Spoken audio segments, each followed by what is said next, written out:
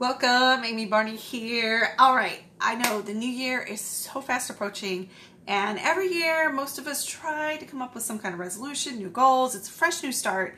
And um, something I learned from my coach Deb Erickson is there's one important thing you want to do before you start crafting your goals, before you um, get ready to start making those changes. And this can change everything for you. And I don't know if you've ever had um, you know, this year's a great example where it just so many things don't go the way you plan them to do. And so sometimes, for me at least, this has happened to me when I'm looking back on a previous year and I, you know, maybe you know you finish it off by not you know reaching that goal that big goal that you wanted and so maybe it leaves a bad taste in your mouth or you know a lot of things don't work well for you and so you know you try to look back on the year and you want to craft goals to have a better, you know, year next year and have, uh, you know, more positive experiences. But when you look back, all you feel is the negative energy.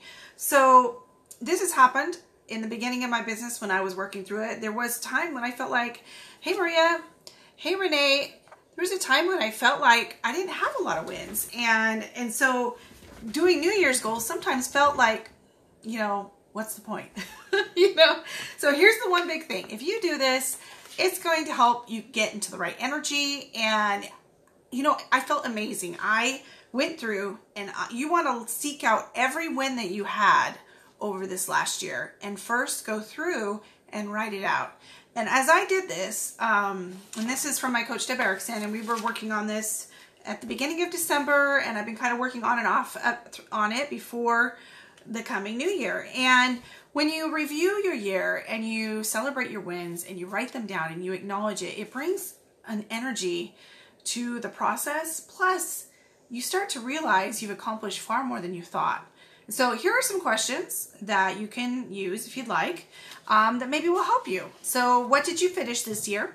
You know, what, what is it? Like maybe you finished a class, maybe you finished a book, maybe you finished, you know, look for the wins, whatever they may be, put them all down what where are all the places you or your people if you have like a company or a business had wins and so as you can see i've been i filled this out front and back and uh, you know it was just also empowering as i was going through remembering and writing down my wins to see all the amazing things that happened this year in spite of everything else that happened uh, what insights have you gained number four what negative habits or patterns did you break Number five, what positive changes have you created?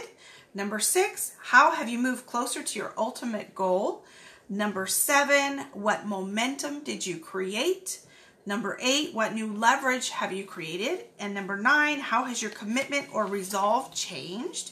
And 10, how have you become more of the man or woman you must become to achieve your ultimate goals? So I've been doing this every year now for, I guess maybe three years, three, three, four years. And, you know, like I said, it was a struggle in the beginning to find the wins, but I'm getting better at it. And also, I am a big believer, uh, my other coach, Ray Higdon, when you celebrate your wins, you find more of them. And so, this is a really good way to start off the new year by finding all the wins you had this year, writing them down, celebrating them, and it just makes you feel really good. And then go about and start crafting your goals. So, tomorrow night, I'm going to share the next thing that I do that helps me in this process so that I can not only set my goals but achieve them. So join me tomorrow night and I will share one of the most incredible tools that I love to use anytime I'm approaching a, a new goal. So like I just made one for the next quarter. Um, you know, when I was going for my incentive trip, I made it for that. Um, you know, so it's super helpful and I'll be sharing about that tomorrow. By the way, if you would like these questions, I'd be happy to send them to you. If you would like to go over your wins this year and celebrate them and feel good and let go of let go of the bad stuff. Focus on your wins and then go about crafting the change that you want for next year. So I hope that's helpful. I know it's been really helpful for me. It's a different perspective because as women, we often like to beat up on ourselves. We put, you know, like I don't know, I'm really hard on myself. I um even after that huge month I had in November, I was like having a hard time just taking a few days off.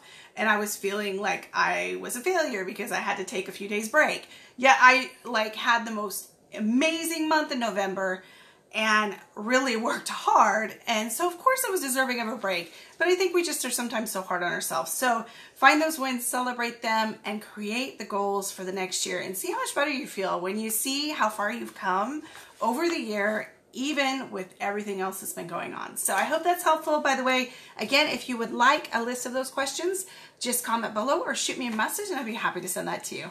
Have a great night.